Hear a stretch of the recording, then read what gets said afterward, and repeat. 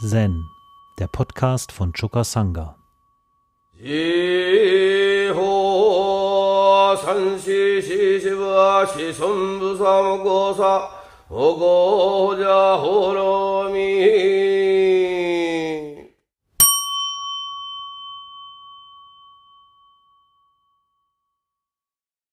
Im heutigen Teeshow wollte ich mich mit Hui Neng noch einmal befassen.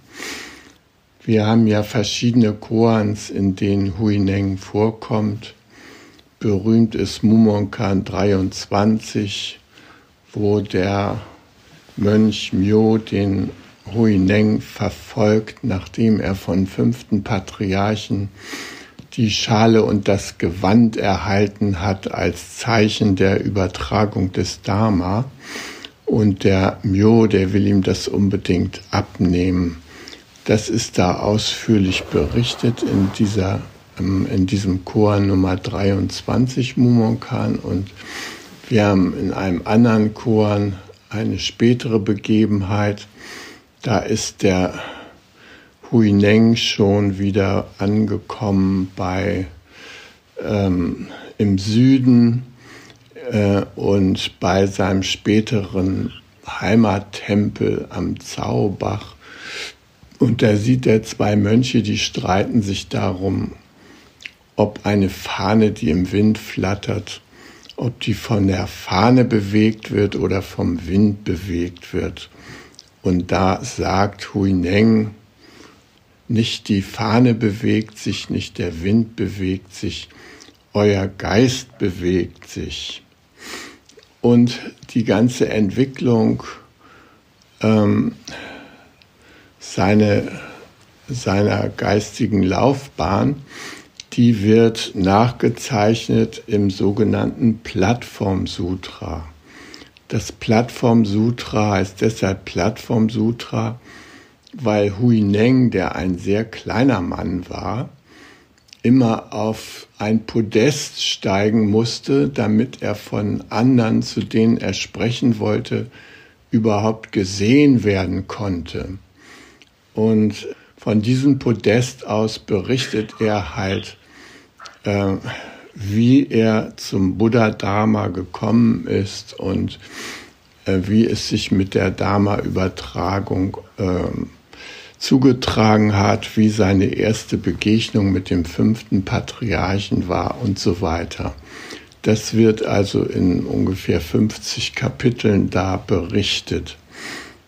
Und interessanterweise wird dieser Text, der eigentlich das Leben eines Zen-Meisters beschreibt, äh, wird als Sutra aufgefasst. Das heißt Sutra des äh, sechsten Patriarchen oder Plattform Sutra.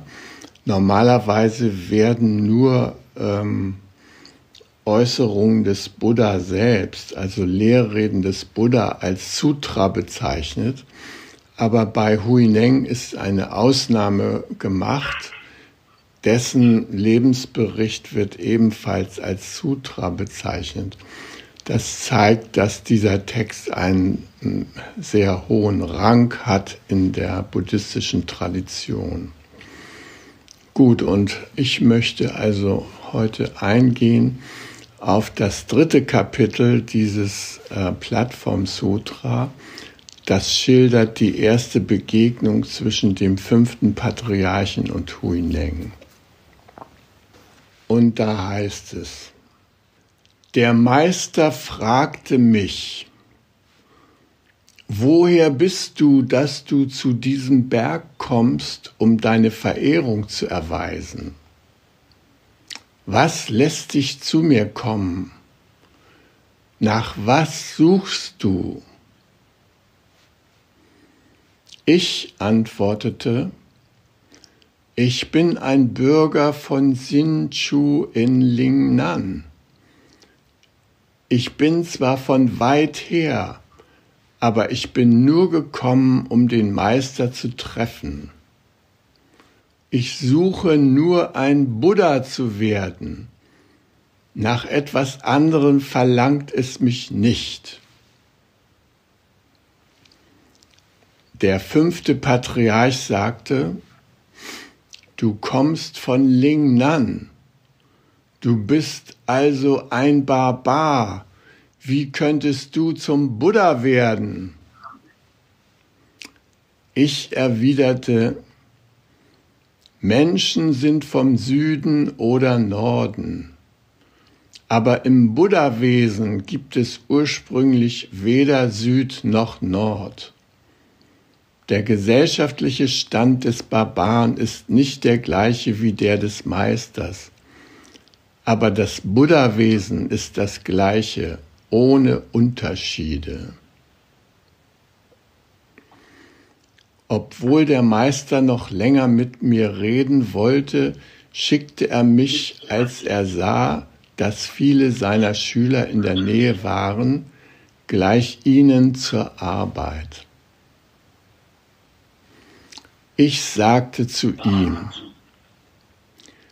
mein eigener Geist erzeugt stets Weisheit, ungetrennt von meinem eigenen Wesen. Genau das ist der Acker der Tugend. Was für eine Arbeit will mich der Meister also verrichten lassen? Der Meister sagte, was für ein vorwitziger Kerl. Du sagst besser nicht noch mal was und verschwindest in den hinteren Tempeltrakt. Dort hieß mich ein Laienbruder Holz spalten und das Pedal des Reismörders treten. Dies tat ich für acht Monate. Dann plötzlich eines Tages kam der fünfte Patriarch und sagte, ich weiß, dass deine Einsicht echt ist und fürchtete deshalb, dass einige übelgesinnte Menschen dir Schaden antun könnten. Aus diesem Grund redete ich nicht mit dir. Verstehst du das? Ich antwortete, ich verstehe eure Gedanken, und aus diesem Grunde ging auch ich nicht vor zu eurem Raum, damit niemand etwas bemerkt. Ja, der Werdegang von Hui Neng beeindruckte die Chinesen der damaligen Zeit, besonders deshalb, weil Hui Neng offensichtlich ein Mann des Volkes war. Er war nicht wie andere, Bodhidharma zum Beispiel, ein Prinz oder selbst Buddha war ja ein Prinz, sondern er war ein ganz normaler Chinese. Und zwar hatte ähm, sein Vater äh, sein Amt verloren bei Hofe und war in Ungnade gefallen, in die Verbannung geschickt worden und ist dort früh gestorben, so dass Hui Neng alleine für seine alte Mutter sorgen musste. Und das tat er, indem er täglich in den Wald ging, um Holz zu sammeln, um das in der nahegelegenen Stadt zu verkaufen. Was die Chinesen also beeindruckt ist, dass Huineng das, was in China sehr geschätzt wird, nämlich die äh, Elternliebe, die Liebe zu den Eltern, dass die wichtig genommen wird, dass er das auch praktizierte. Und im Grunde genommen, äh, obwohl Hui Neng ein Analphabet war und keine Bücher gelesen hatte und keine Schriften kannte, hatte er schon durch seinen Lebenswandel in den Augen der Chinesen etwas Tugendhaftes an sich. Er befolgte sozusagen die Normen der Tradition was das Familienleben, die Fürsorge für seine Mutter und so weiter anging. Jedenfalls eines Tages, als er wieder mit einem Bündel Holz zu einem Kunden kam, hörte er das Diamantsutra von jemandem rezitieren. Und das Diamantsutra ist ein sehr zentrales Sutra für uns auch im Zen. Äh, und es behandelt vor allem äh, die Verbundenheit, wie Hanh sagt, Interbeing, also unsere Verbundenheit mit allen anderen Wesen und allen Geschöpfen, allem Erschaffenen, indem es eben betont, dass man, äh, wenn man sagt, das ist eine Blume, sich darüber im Klaren ist, dass diese Blume aus 99,9 Prozent Nicht-Blumenelementen zusammengesetzt ist. Und dieses Diamantsutra, das rezitierte jemand. Und während der Huineng dieser Rezitation lauschte, hatte er eine tiefe Einsicht. Ihm war plötzlich klar, was es mit dem Buddha-Wesen auf sich hat. Und er fragte diese Person, wo sie denn diese Rezitation her hat. Und diese Person verwies ihn an den fünften Patriarchen Obai oder chinesisch Hongren. Und ähm, dieser Obai, der war aber äh, hunderte von Kilometern entfernt im Norden Chinas. Und es gelang Huineng, jemand anders, einen anderen Kunden dazu zu bewegen, ihm finanzielle Mittel zur Verfügung zu stellen, dass er seine alte Mutter absichern konnte, während er die Reise zu äh, Hongren oder dem fünften Patriarchen äh, antrat. Und dorthin war er 20 bis 30 Tage unterwegs. Und man kann vermuten, dass das äh, Diamantsutra noch in ihm nachgeklungen ist auf dieser langen Wanderung. Jedenfalls hm, die Geschichte, die ich eben gerade vorgelesen habe, die ereignete sich nach seiner Ankunft im Tempel von Hongren Obai. Und wir sehen schon, dass er ein bescheidenes Leben führte und jetzt kommen die beiden zusammen und natürlich will der äh, Hong Ren wissen, was ihn denn nun da zu ihm geführt hat.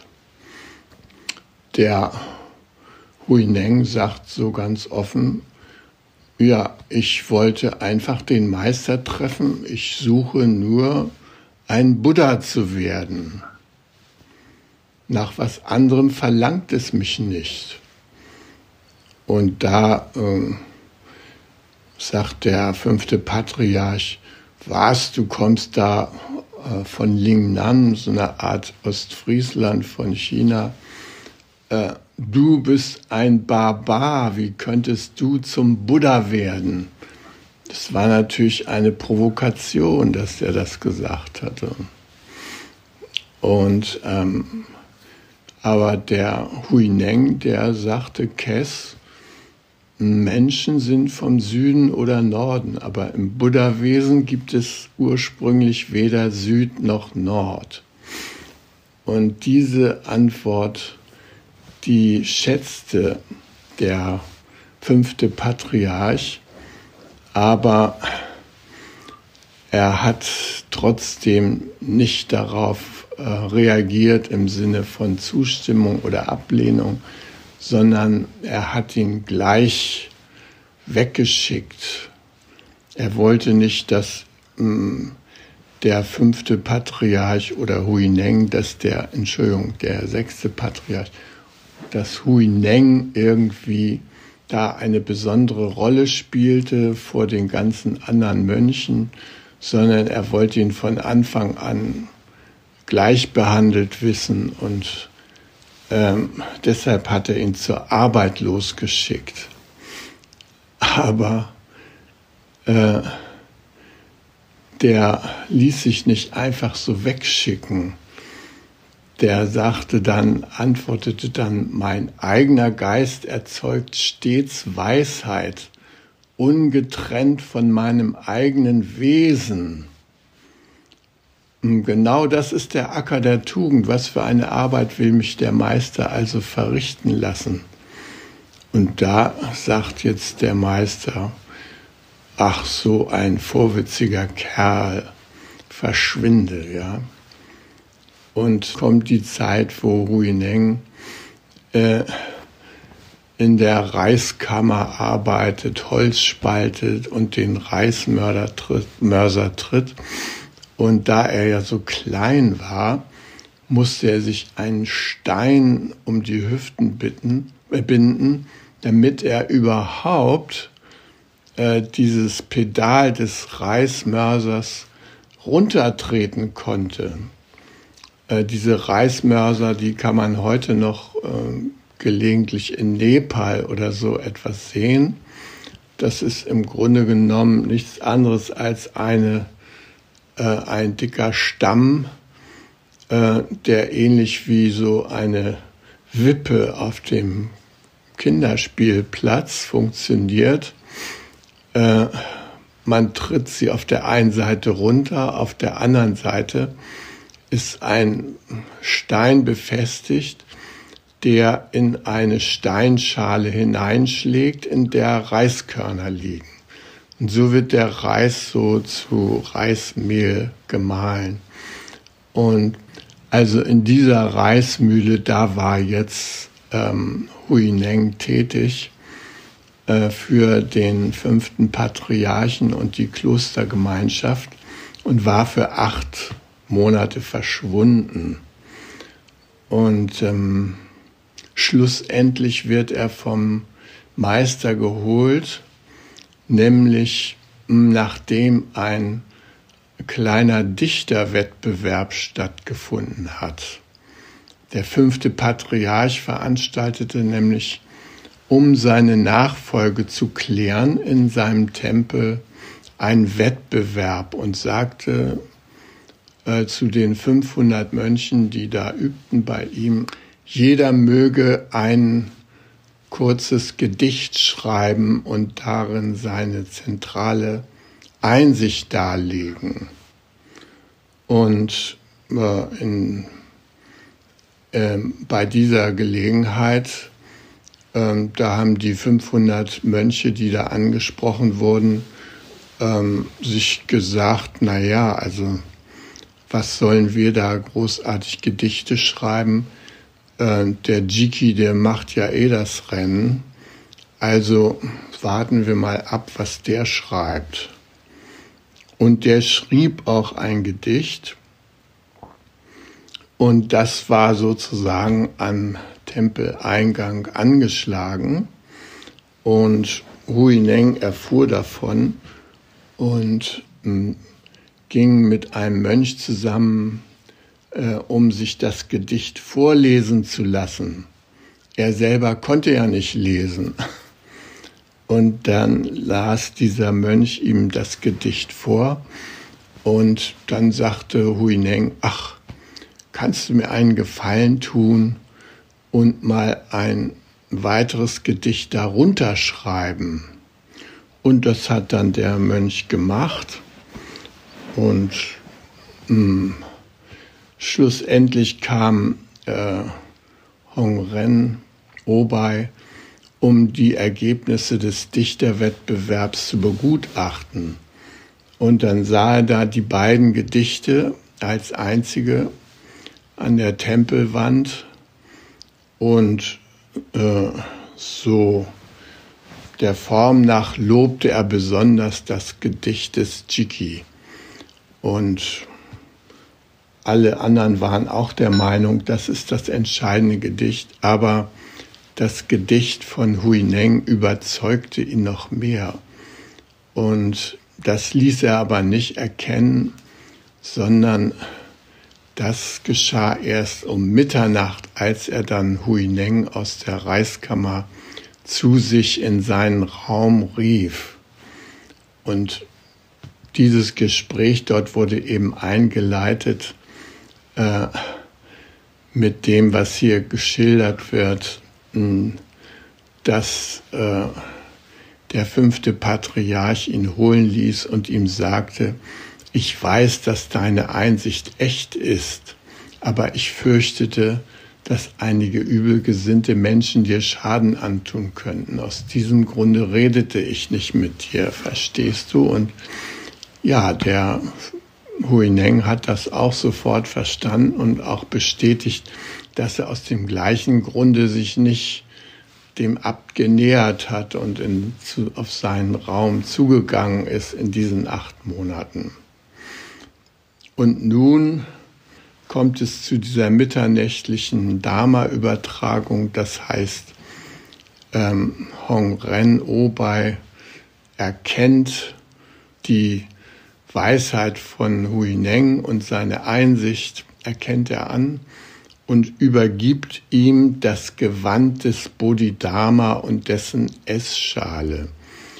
Das Gewand und die Essschale des Bodhidharma waren immer äh, von einem Nachfolger an den anderen weitergegeben worden. Also von Bodhidharma an Ekai, an Sengzahn äh, und so weiter. Ähm, und schließlich ähm, waren diese beiden Gegenstände sozusagen symbolisierten den Dharma, äh, die Tradition der Übergabe von ähm, von Lehrer auf den Schüler und äh, die Anerkennung äh, des Erwachens durch den Lehrer im Schüler. So, und dieses ähm, Gewand übergab nun der fünfte Patriarch dem Huineng und sagte, weißt du was, das wird hier einen Aufstand in dem Tempel geben, wenn die anderen Mönche mitbekommen, äh, dass ich dir die Schale des Bodhidharma und sein Gewand weitergegeben habe. Deshalb bringe ich dich jetzt selbst an den Fluss und fahre dich ans andere Ufer.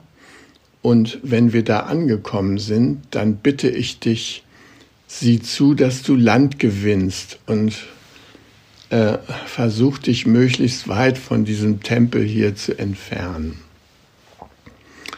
Und Huineng nahm also die Schale und das Gewand und ähm, ging in den Wald und äh, versteckte sich dort.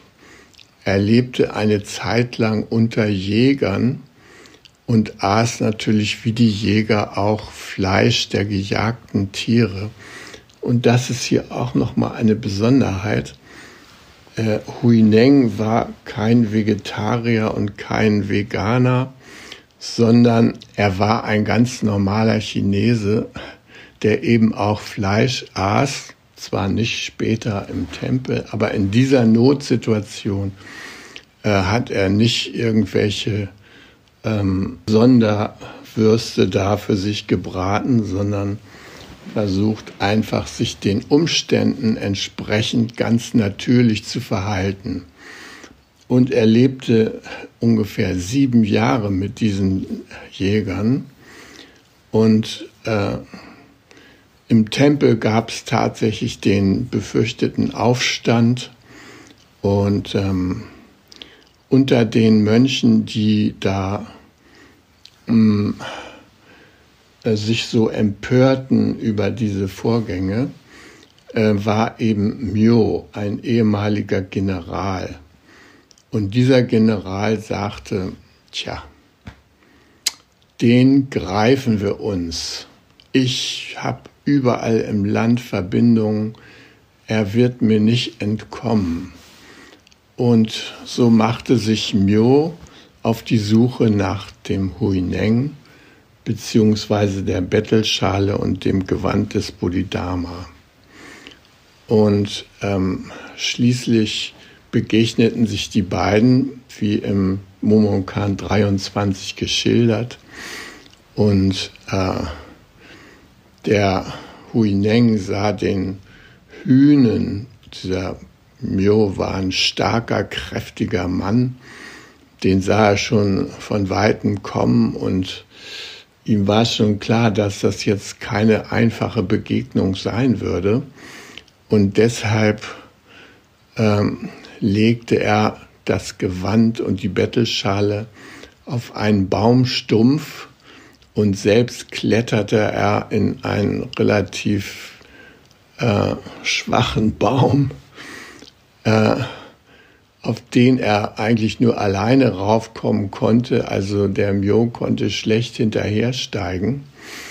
Und äh, aus, der, ähm, aus dem Geäst dieses Baumes, da äh, rief er zu dem Jo, also wenn du gekommen bist wegen der Schale und wegen des Gewandes, äh, die habe ich da auf den Baumstumpf gelegt. Nimm sie dir. Lass uns nicht um Gewand und Schale streiten. Und ähm, der Mio hat nichts Besseres zu tun, als nach dem Gewand und nach der Schale zu greifen. Und interessanterweise konnte er weder das Gewand noch die Schale hochheben. Er, es sah so aus, als wären Gewand und Schale zu schwer, obwohl er so ein starker Mann war. Und er kam in Schweiß und schwitzte und ächzte und schließlich sagte er, äh, ich kam gar nicht wegen des Gewandes und der Schale, ich kam wegen des Dharma. Und äh, in dem ersten Moment, da wollte er ja einfach nur das Gewand und die Schale an sich nehmen und äh, sicherstellen für den in seinen Augen wirklichen Nachfolger vom fünften Patriarchen. Und ähm, das heißt, er hatte diesen greifenden Geist, mit dem er aber nicht erfolgreich war. Er war so wie wir. Er wollte es einfach haben, an sich bringen. Und äh, das klappte nicht. Und da passiert so eine Art psychischer Wandel in ihm.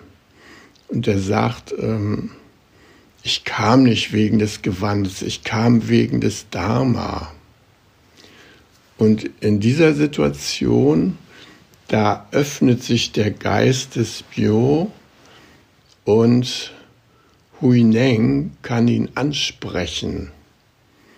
Und Huineng sagt zu ihm, als der Myo da so schweißbedeckt an dem Gewand zerrt, sagt er zu ihm, äh, der merkt natürlich, dass sich der Mio jetzt schuldig fühlt und falsch.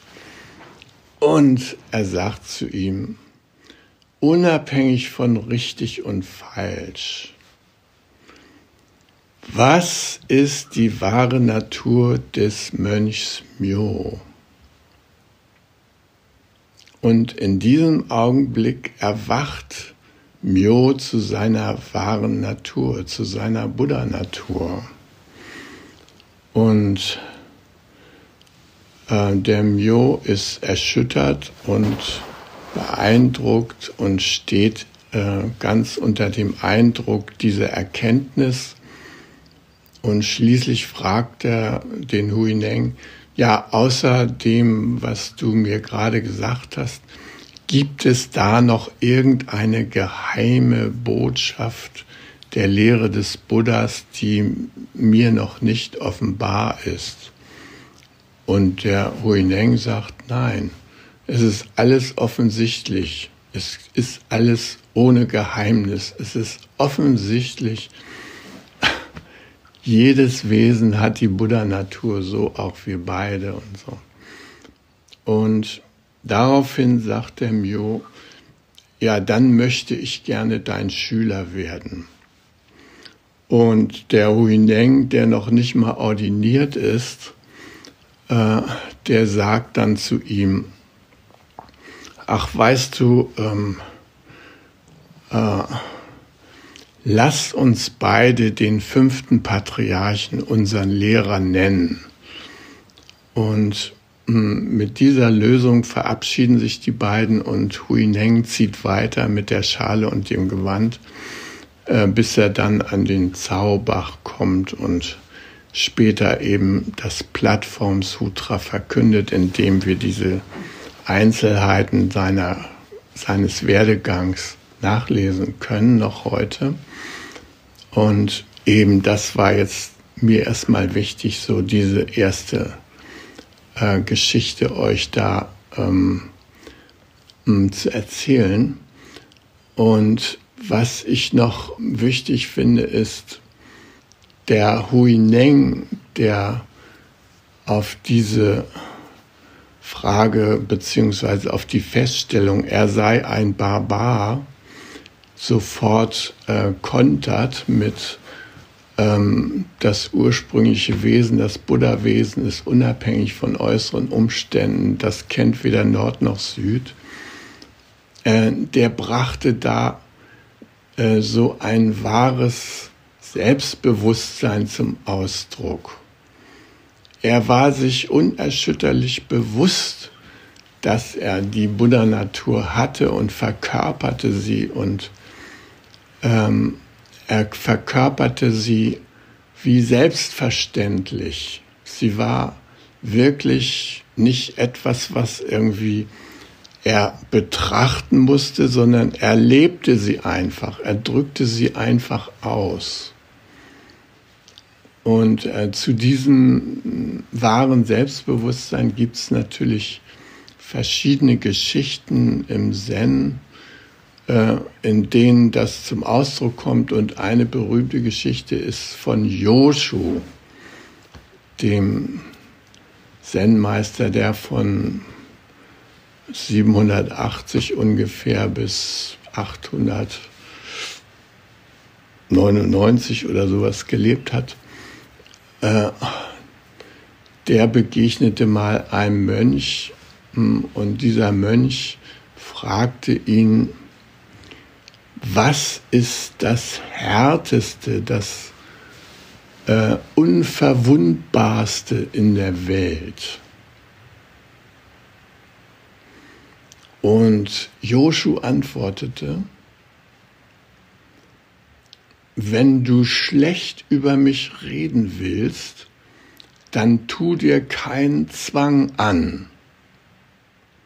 Wenn dein eigener Mund dazu nicht ausreicht, dann nimm noch einen Vogelschnabel dazu.